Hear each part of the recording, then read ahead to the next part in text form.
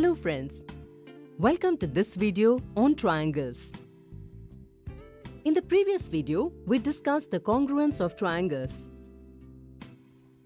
Today, we will solve some questions based on that. Let's take the first question.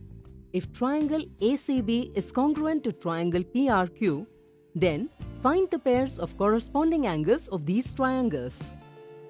The answer to this question is very easy. Here are their pairs of corresponding angles.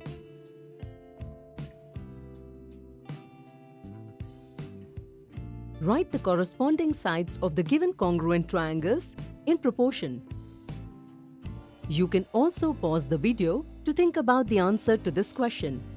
Friends, first of all, keeping in mind the corresponding congruent sides of the two triangles, we will write the names of the two triangles in the same order in congruent form and then we will write the proportions of their corresponding sides in the same order. According to the figure, triangle PQR is congruent to triangle XYZ.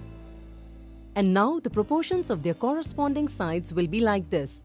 Side PQ corresponds to side XY, side QR corresponds to side YZ and side PR corresponds to side XZ. Let's take the next question. Two triangles are made in the given rectangle and the names of some triangles are also given. Give the names of the triangles congruent to those triangles. Now, look at the figure and tell which side is congruent to side AB. That is, the side CD or DC. Similarly, moving forward in the same order, BD will be congruent to BD or it can also be called DB and DA will be congruent to CB or BC.